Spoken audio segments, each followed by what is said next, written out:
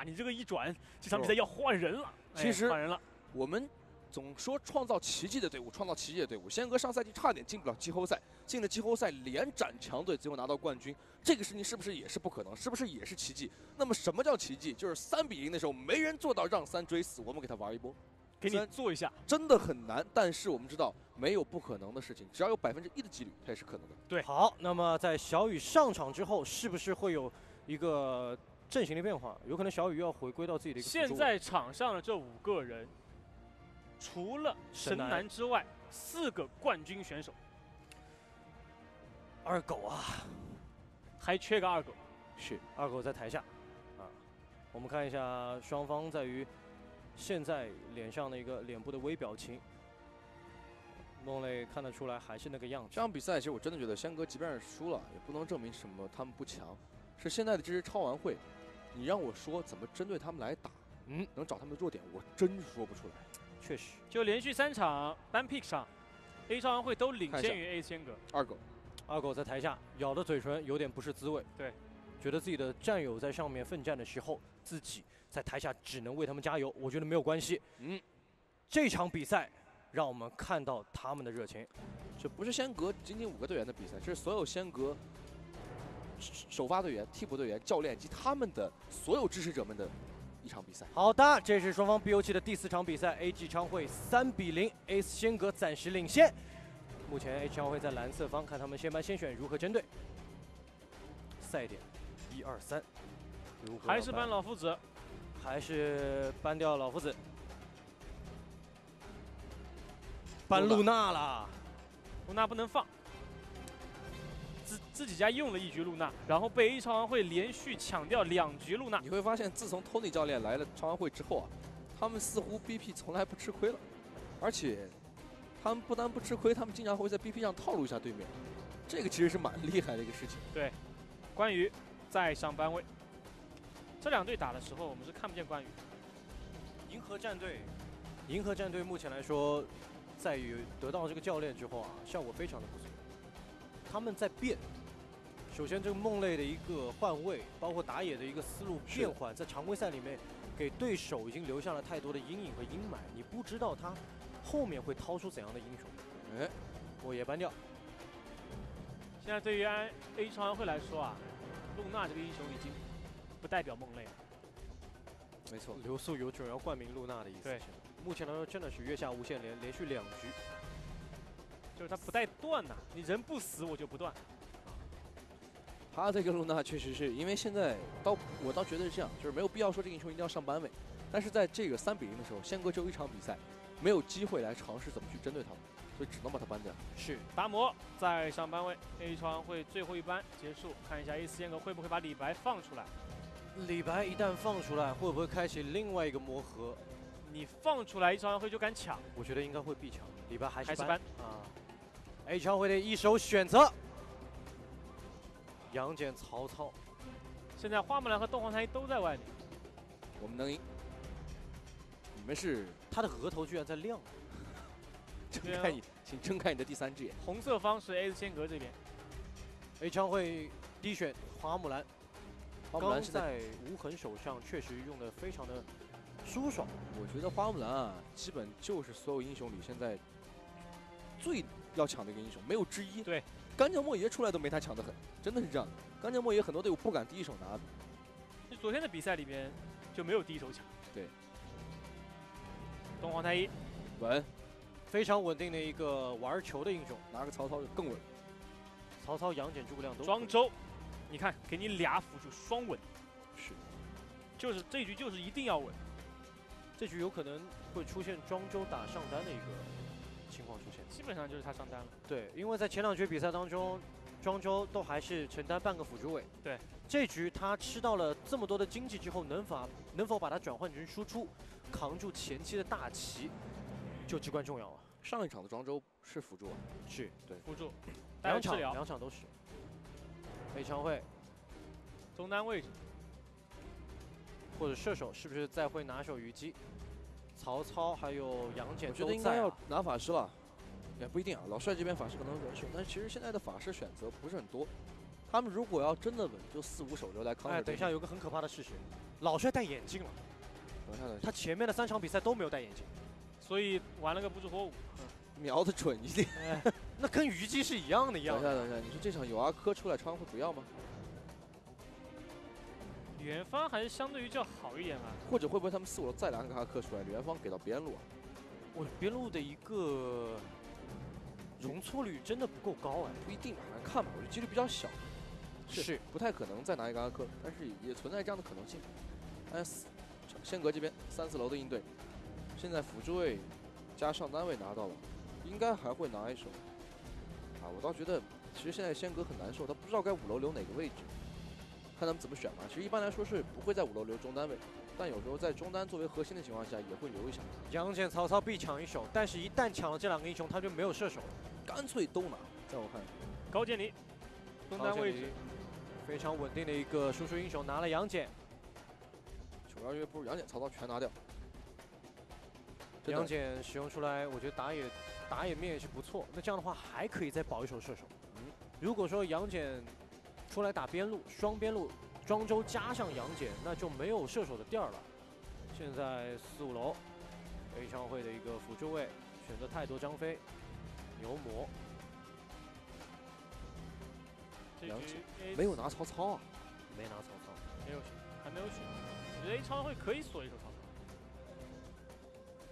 要是我有种感觉啊，就是这手杨戬是不是给无痕来打？无痕的杨戬其实我一直觉得比他的曹操要更强。对。其实这个版本杨戬没有曹操本这两个英雄本身啊，曹操比杨戬更强一点。没错，但我也是感觉 S 仙阁这边倒是可以最后一手考虑拿手射手。然后杨戬去打野，无痕使用庄周。你头顶着流苏，手抓着老帅，好贪心。喜欢谁？这还好，你要是头顶着老帅，你就累了 啊。毕竟还有一副眼镜的重量。张飞、曹操，双边路出来，应该是打野的李元芳，比较稳定的一个打法。曹操给到对面了，阿珂，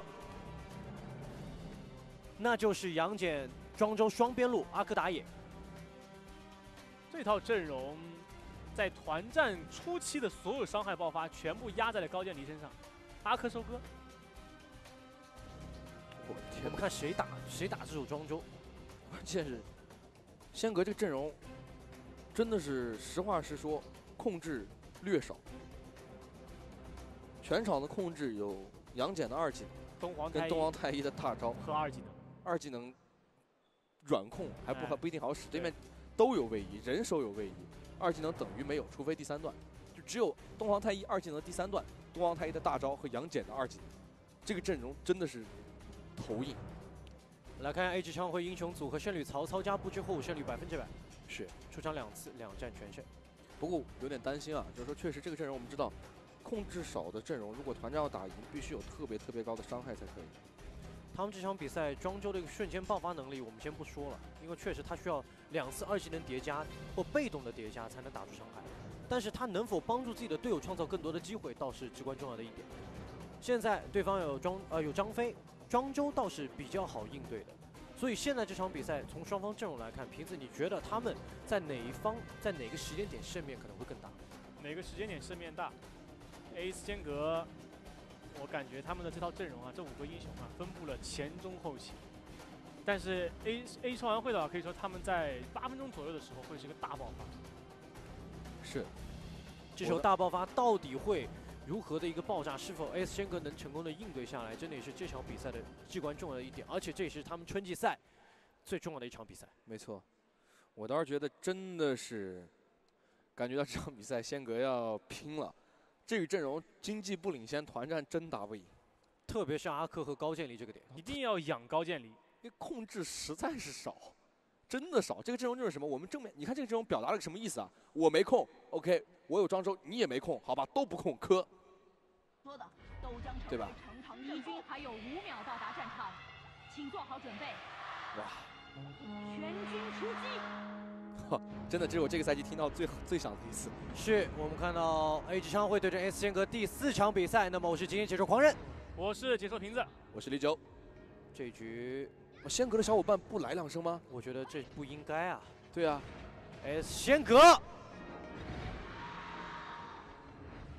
这一身已经足以。现在更重要的是要代表 S 仙阁的决心。前期抱着东皇太一加上庄周，来做一个比较可怕的局面。高渐离到达二级之后，应该会过来支援。没错，高渐离绕后了，这个谁拿到？老帅，老帅抢到，法师抢到。不过这个还好，毕竟是对面的对面的红，被抢回去也是一个双 buff，也就是个正常开局，没有被三 buff 开。不过看一下局面上，一分钟，目前来说。A 枪会在于入侵 S 仙哥的一个野区上下了比较多的功夫，但是其实野区已经被收掉了。对，并没有让。哎，这一手，这一手减速到闪现必出，感觉要死啊！吃了一口血包，哎，还炸一下塔。等会儿要不让你回呢？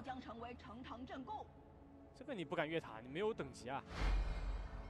流苏下路一个人扛着庄周，但是这手回去你上路塔还要不要？我们来看一下。这是个李元芳啊。我们来看一下 A 枪会赛点局胜率百分之六十。又来一套技能，差一点控制。那老帅的一个闪现逼掉，但是上路一塔没有了。这样，李元芳，你只要敢回一次加你塔就没有了。我要走啊！无痕好难受。对，这个直接爆掉了。这真的就是这么快，一分四十秒钟，S 信哥上路外塔被破。所以我真的觉得无痕那只鸟啊，你给他就好了，真的没有必要被他跟他刚血。对，现在 S 仙阁。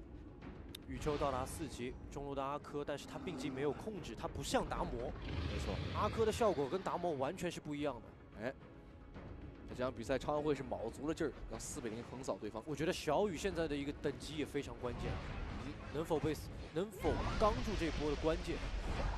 哇，直接甩技能，他是 A 了三下，扔了个标又补了一段，只能说直接把一技能打满了四段。是，梦泪的一个等级已经快到五级了。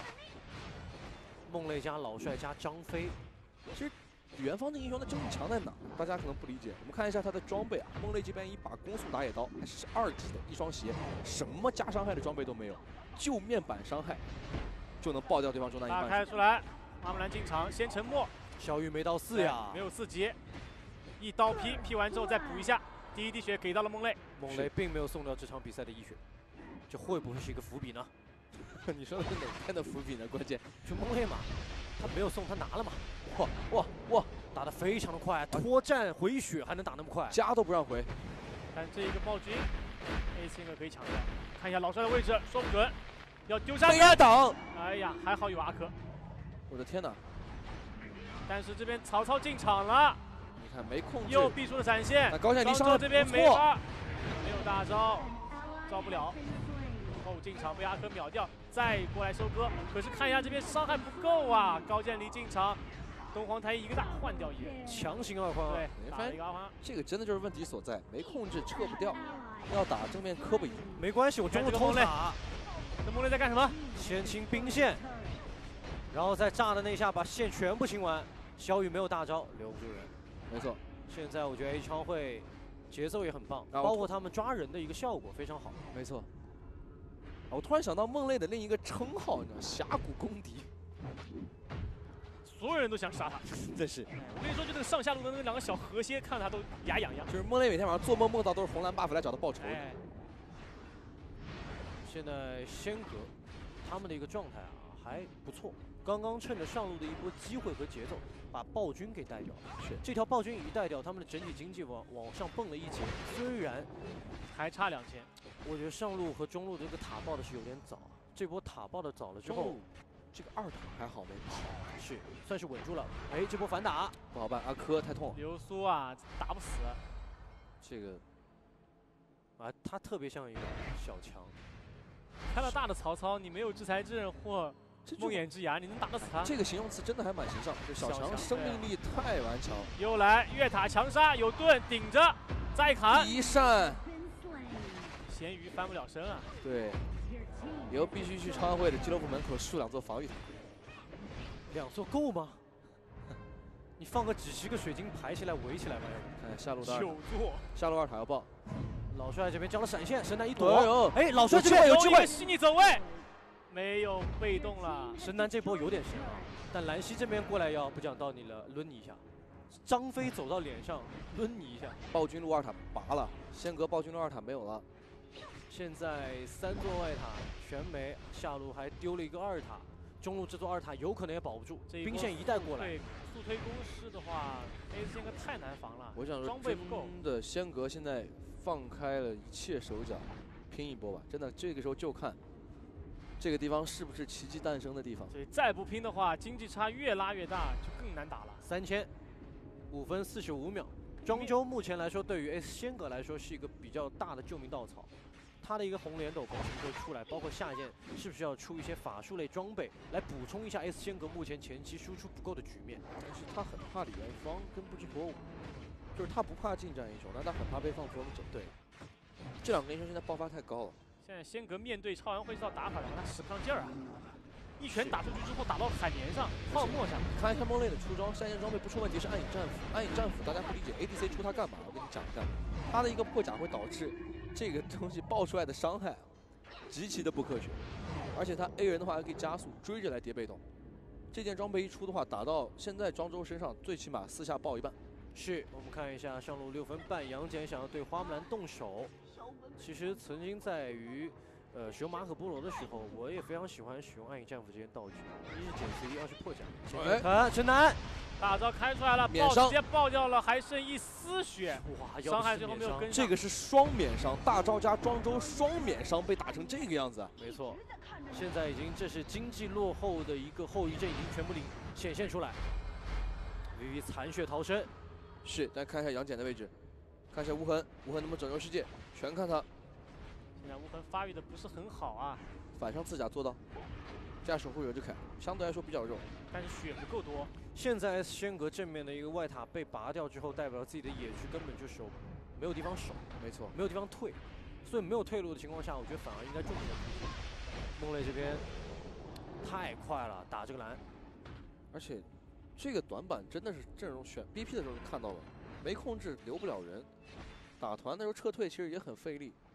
正面磕起来，我感觉也费劲。就是说，大家真的是可以说你很难控我吧，我有庄周。但是如果真的仙阁这边想留人，留不住。对，特别是我们先不说控制吧，爆发就不足以秒掉对方一个。就甚至于说羽秋的位置一定要特别好，看装备吧。如果能让无痕这里，包括看一下，还有羽秋的阿珂、神南、神南的高剑离这三个点，又在围绕于。打了，东皇太一直接咬住，李元芳伤害不够啊，是个蓝溪，小了个张飞，再开大吼了一下，高渐离进场，伤害没有打出来，相反的被不知火舞一套来回踢球，老帅一套踢了三个，一共踢到四个人，太可怕了，刚那个画面，两个辅助位置，看一下这一波上路的高地塔能不能破掉，老帅刚比一推，流苏下路配合兰溪。上路再推塔，李元芳拔塔太快，还剩两个辅助位置，能不能来得及？八分三十四秒，上下两路高地全崩。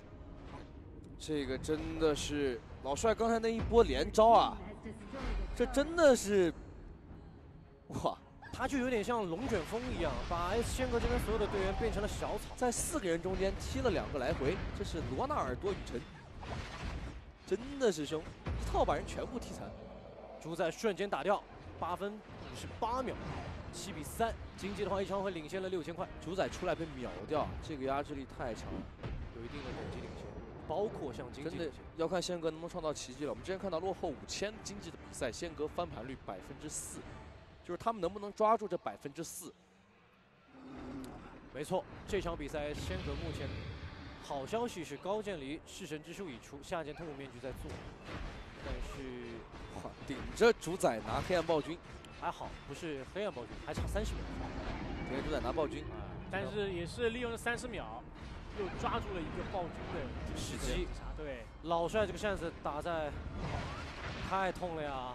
这什么扇都扛不住啊！玉清昆仑扇，你看这曹操，留住打出了微微的感觉。我觉我觉得现在这个蓝血感，蓝血感直接开大强拆了，龙进来。陈鬼如果再把那条龙引到中路来，我觉得有点危险啊。梦泪，梦泪要强拆，先耗一波，这样的话下一波技能可以直接秒。川会是想直接一波的，不然的话这个位张飞完全曹操已经进场开始砍了，推塔，主宰先锋秒不掉一个大招，还好庄周刷出了被动，又进场了，直接秒掉东皇太一，高渐离大招进场，伤害不够高，秒不掉梦泪。远方没有死，阿珂被杀，仅存一个无痕，无痕能不能救世？再砍伤害不够，还是一个撞中，一波团灭。恭喜 AG 超玩会推掉水晶，四比零横扫 S 间隔，晋级季后赛第二轮。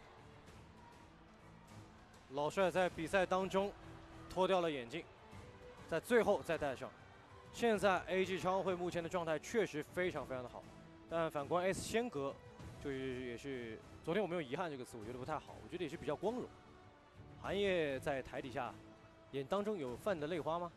我觉得这场比赛很难，现在会有很，其实会有很多很多的小伙伴在看比赛的时候，其实相信现在眼睛已经有点湿了，这个也是没有办法。还是那句话，确实仙阁这场比赛打的尽了力啊，但是确实是遗憾的。对，只能说我们不做任何掩耳盗铃的事情，说这场比赛没关系，不能这么说。被横扫是一件很让人伤感的事情，当然只希望他们把这个东西继续。装在心里。说实话，君子报仇，十年不晚。还有下赛季秋季赛，把这球报回来。对，没错。恭喜 A G 超玩会。超玩会。